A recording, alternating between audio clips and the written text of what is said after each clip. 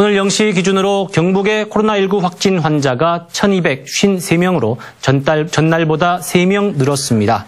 신규 확진 3명은 집단 감염이 발생한 경산 서요양병원 입원 환자 2명과 종사자 1명입니다. 기존 집단 발병 시설의 추가 확진과 해외 유입 이외 일반 개별 감염은 이틀 연속 발생하지 않았습니다. 봉화 푸른 요양원의 80대 입소자가 안동의료원에서 숨져 경북의 사망자는 45명으로 늘었고 완치자는 770명, 완치율은 61%를 넘었습니다.